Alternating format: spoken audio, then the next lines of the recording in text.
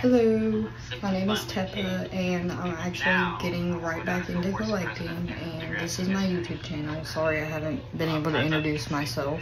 This is really my only collection right now because sadly someone stole my other half.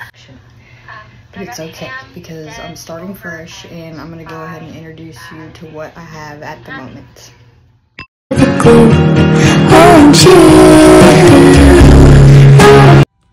First, we have our Sooty Overo Pinto Palomino, which is absolutely gorgeous. These actually came in a set, but I didn't happen to, uh, beautiful. I've had them for a little while. I had to put him up top. The Tobiano Pinto Palomino. He's so cute. We have our Bay Roan Morgan Cross. Amazing, look at that. The color on her, beautiful as well. Isabella Palomino. Very pretty. This one is my absolute favorite. The dapple gray I'm not a Hanoverian, I believe. Our black Mustang, which is beautiful.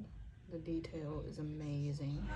And finally, the golden Palomino. I had to sing that because the champion American quarter horse. The detailing on him is really pretty. I actually got this from somebody off Facebook Market.